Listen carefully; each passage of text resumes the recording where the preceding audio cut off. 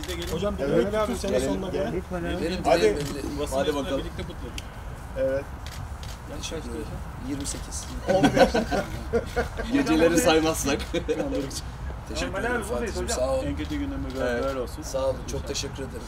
Eksik olmayın. İşte Bursa'yı sevme nedenlerinden bir tanesi budur. Ağlayacak mısınız? Vallahi ben çok duygulanıyorum böyle şeylere.